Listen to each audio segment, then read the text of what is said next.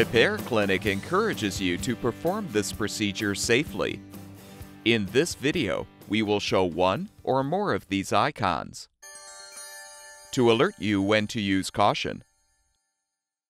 Before you replace the oven safety valve on your range, first unplug the power cord and shut off the gas supply. Now use a Phillips head screwdriver to unthread the screws, securing the lower rear access panel.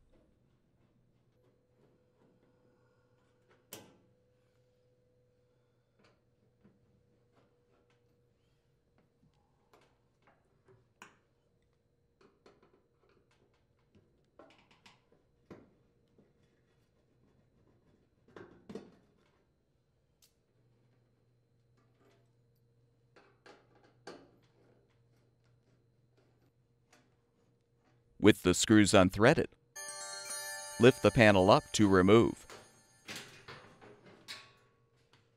Next, note the orientation of the bake and broil wires connected to the safety valve, then disconnect them. You'll need to release the locking tabs to detach the wires from the bake wire terminals. Use an adjustable wrench and a 9 16 inch wrench to unthread the nuts to release the gas supply tubes from the safety valve.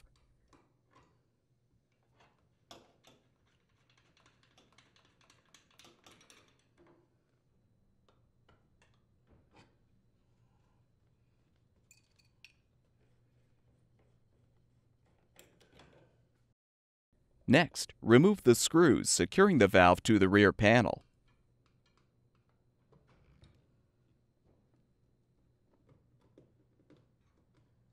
Remove the old valve.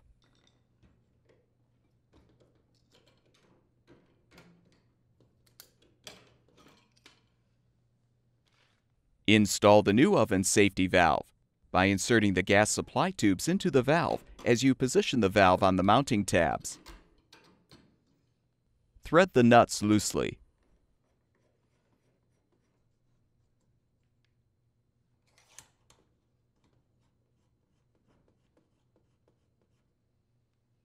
Replace the screws to secure the new valve.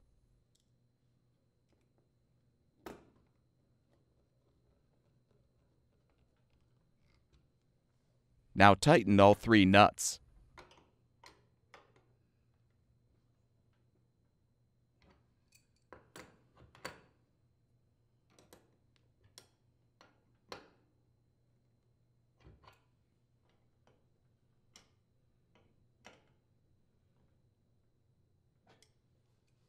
Attach the bake and broil wires to the appropriate terminals on the new valve.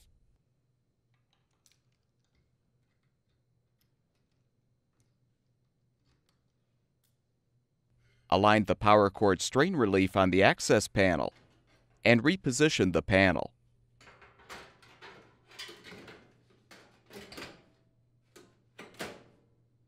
Replace the screws to secure.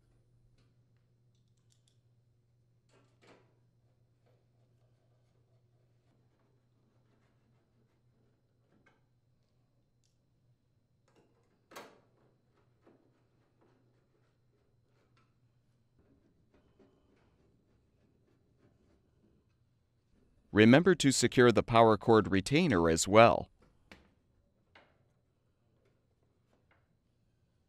With the repair completed, plug the power cord back in. Turn the gas supply back on, and your range should be ready for use.